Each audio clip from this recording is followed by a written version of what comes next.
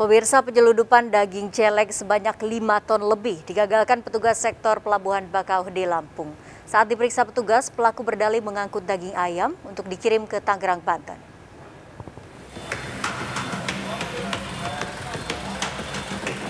Satu persatu kendaraan yang akan memasuki Pelabuhan Bakaheni Lampung diperiksa oleh aparat kepolisian sektor kawasan pelabuhan KSKP Bakaheni. Saat memeriksa sebuah mobil truk box berpendingin, petugas mendapati truk membawa 140 karung berisi daging beku. Seluruhnya sekitar 5 ton lebih. Sopir truk mengatakan kepada petugas daging beku yang diangkut adalah daging ayam. Namun hasil identifikasi petugas karantina, daging beku yang diangkut dalam truk adalah daging celeng.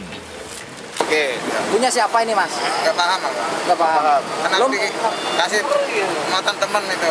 muatnya gimana muatnya? Muat. Nggak lihat aku, itu kan aku tak parkir, tak tinggal Untuk mengirim daging dari Bengkulu ke Tangerang, Banten, sopir diberi uang jalan sebesar 10 juta rupiah. Nah, nanti karantina yang melakukan penyelidikan yang seperti apa ditindaklanjuti.